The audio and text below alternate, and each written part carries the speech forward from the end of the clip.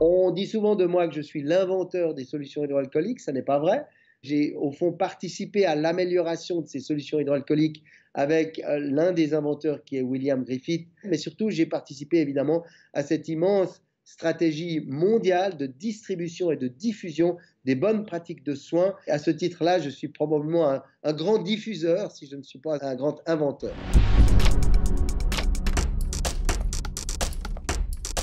L'intention de départ était de réduire la charge sur les soignants afin qu'ils puissent pratiquer cette hygiène des mains de manière efficiente, rapide, efficace.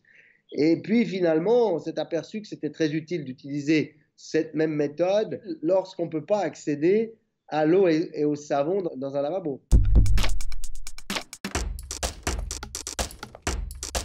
Euh, en Afrique, euh, un lavabo sur deux lors de nos visites ne marchait pas, il n'y avait pas d'eau au lavabo. Donc on s'est rapidement rendu compte que la, première nécessité, ce serait la solution hydroalcoolique dans tous les hôpitaux du monde. Et c'est pour cette raison-là que nous avons donné cette formule euh, de solution hydroalcoolique à l'Organisation mondiale de la santé pour qu'elle puisse être faite de manière la plus économique possible, la plus facile possible dans tous les endroits du monde et à partir même de bioproduits qu'on n'utilise pas.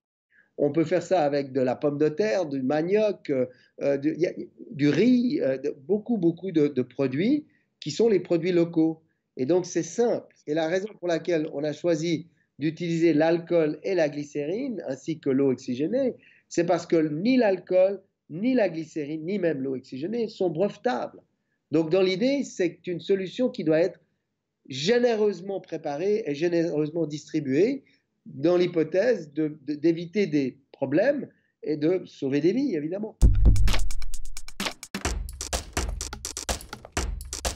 C'est juste une immense satisfaction, une immense reconnaissance pour tous les gens qui ont travaillé avec moi et j'espère simplement que euh, toute la population mondiale pourra bénéficier d'avoir cet alcool pour les mains à disposition afin qu'on puisse déconfiner de la manière la plus harmonieuse possible et évidemment qu'on ne manque jamais de solutions hydroalcooliques dans les centres de santé du monde entier.